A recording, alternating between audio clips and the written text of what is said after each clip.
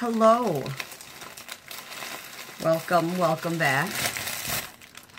I got a little package today, which actually was way earlier than I expected. Um, I ordered this, well, I signed up for it a little bit ago, and then I just paid for it recently. This is a new to me vendor. It is called Little Rainbow Tarts. I believe it used to be the Shonk, Shonk, Shonk Shop. I don't know if she changed her name or like if it's split or what. I don't know. I don't know. But I do know that somebody added me to the group and she had a Vanilla Bean Noel sample and I'm in. Yeah, because the owner is Jamie Shonk. So yeah, I'm assuming it used to be the Shonk shop. Okay, so it came wrapped in this cute little Merry Christmas bag with a twist tie that I got off all by myself. So the first one we have here is, uh, they're all VBN, so VBN Pink Champagne.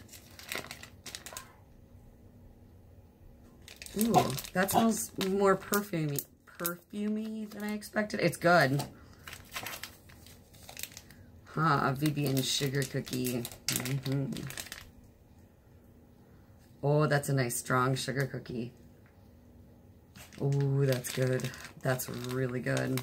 I'm going to say that for all of them because I love Vanilla Bean Noel. Well, this one might be okay to me. Vanilla Bean Noel Apple Christmas Tree. Oh, that's not bad. I'm surprised at that one. And again, for me, not in general. VBN Flannel. I don't know what flannel is. I should, but I don't. Oh, see, that's good too. See, and I think the Vanilla Bean Noel like tones down some of these stronger scents. Graham Cracker Latte VBN.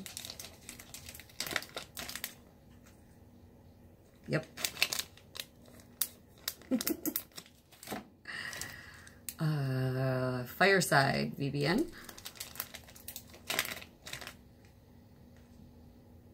Ooh, that's a really good one. Ooh, ah. uh, VBN Sugar Plum. Oopsie, I don't know if I like that. That's different. And then last but not least is, oh, yeah, Vanilla Noel Candy Cane. I will probably end up giving this one to my daughter. Yep. So, these are really cute. They've all got, like, glitter in them. Or on them. Like, the snowflake is glittery. You can kind of see it through the bag.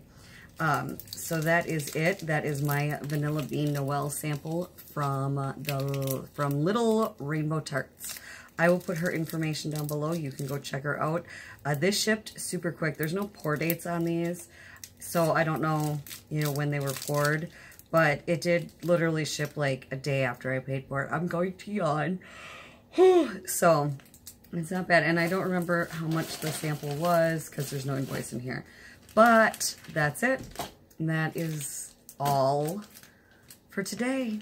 Thanks, guys, for watching. Have a wonderful Thanksgiving and a wonderful four-day weekend if you have one. Bye.